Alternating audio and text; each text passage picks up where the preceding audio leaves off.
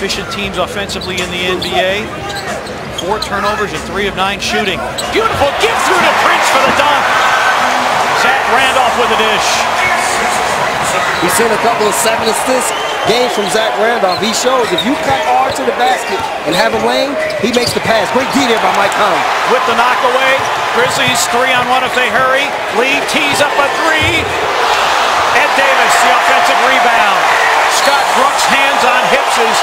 frustrated with his team. He walks out onto the court and calls an Oklahoma City.